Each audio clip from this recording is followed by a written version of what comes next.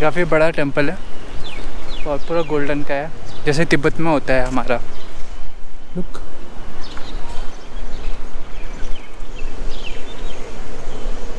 और ये वैसा दिख रहा है जैसे रेस्टोरेंट नहीं होता हमारे देहरादून में कालसंग कालसंग रेस्टोरेंट तो वैसे ही जैसे है ये।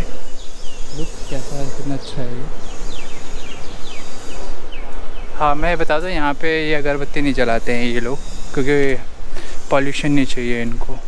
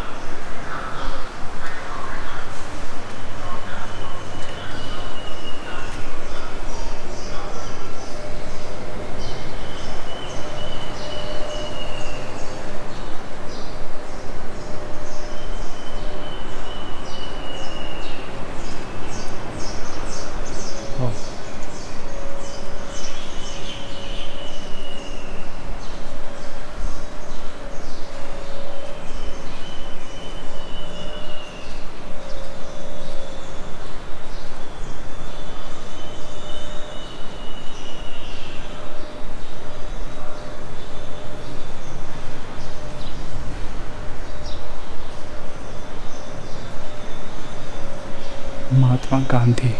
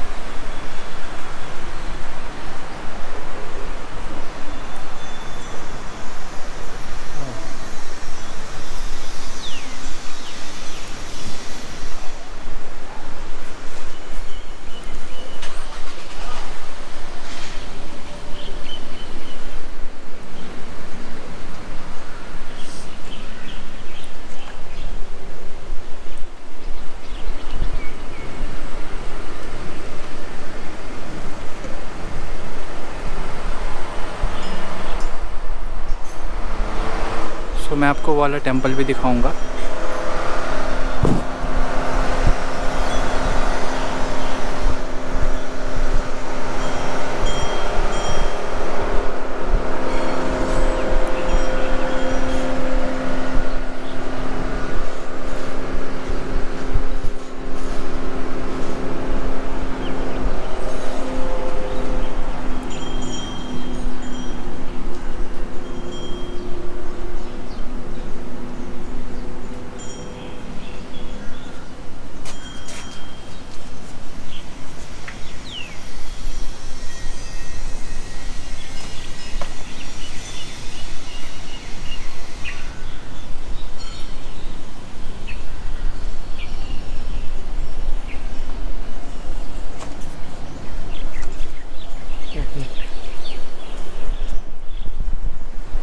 तो मैंने आपको ये वाला टेंपल दिखा दिया, काफ़ी अच्छा है अंदर से। यहाँ पे ना टेंपल इतने ही बड़े होते हैं, जितने चर्चेस होते हैं। जैसे गोवा में चर्चेस हैं, जितने बड़े बड़े उतने बड़े बड़े टेंपल भी हैं यहाँ पे। हाइट लगभग उतनी है। जो मैंने सबसे बड़ा चर्च देखा था ना, गोवा में देखा था। नहीं सॉरी गोवा में नहीं देखा था, वो मैंने कन्याकुमारी में देखा था। काफ़ी बड़ी हाइट थी उसकी, स्वामी विवेकानंद मेमोरियल के जहाँ पे सनराइज़ पॉइंट होता है, वहाँ पे देखा था। उसकी हाइट भी लगभग टू फिफ्टी प्लस थी मीटर ओके अब मैं आपको ये वाला दिखाता हूँ। लुक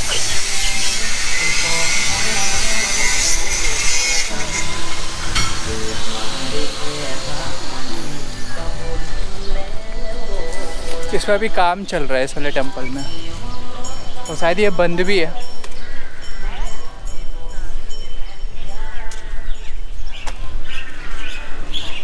पर इसकी भी हाइट काफ़ी अच्छी है।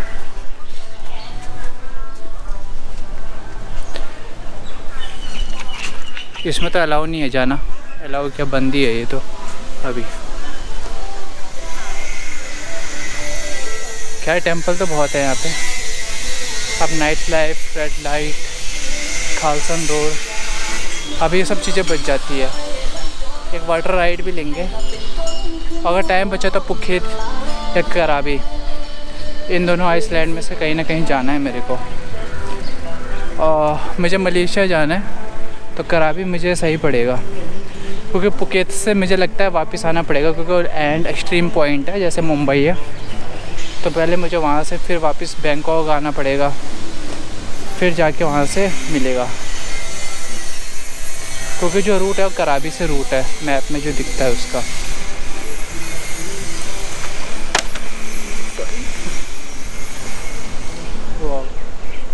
See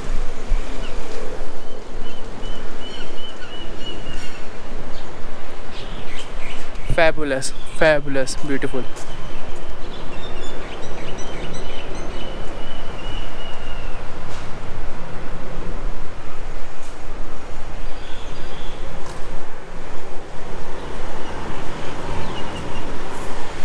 Thai पढ़ने में प्रॉब्लम है।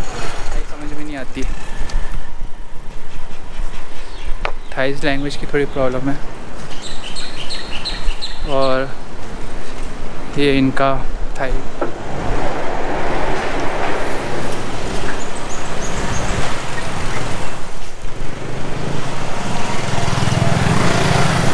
तो यही टेंपल आपको दिखाने थे, बस।